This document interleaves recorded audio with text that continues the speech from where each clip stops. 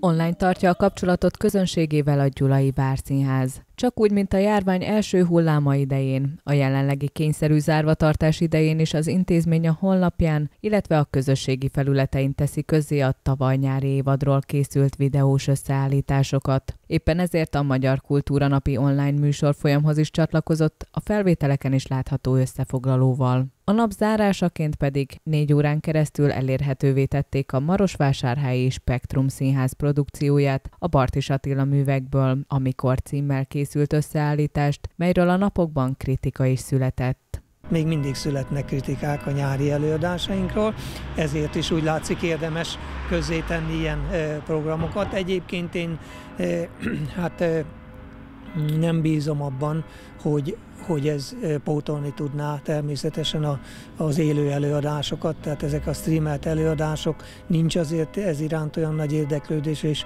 hát nem olyan élményt nyújt a nézőknek, mint hogyha akár itt a kamaratermünkben, vagy akár szabadtéren láthatna egy előadásokat, de, de jobb hit ilyen és kapcsolattartás szempontjából mindenképpen fontos, tehát élünk ezzel a lehetőséggel a továbbiakban is.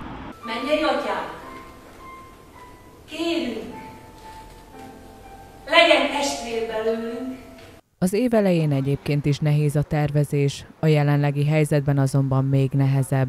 A nyári évaddal kapcsolatban azonban bizakodó a Gyulai Várszínház igazgatója. Idén nyáron is lesz Shakespeare Fesztivál, lesz erdélyi hét, és az évad végén pedig három napos Szabó Magda napokat tartunk, amikor három nap alatt hat Szabó Magda előadást láthat majd a közönség hozzátette. Jelenleg az éves költségvetési keret megállapítására várnak, az azonban biztos, hogy a város önkormányzatától idén kevesebb összeg folyik be. A minisztérium támogatásának mértéke azonban még kérdéses. Ennek ellenére próbálnak minél inkább felkészülni a nyári évadra, hogy valamilyen tervezet kialakuljon addigra, mire megnyithatnak a kultúra közvetítő intézmények. Hogyha lehetővé válik a nyári programok megtartása, akkor nekünk készen kell állni a programokkal, mint ahogy tavaly is.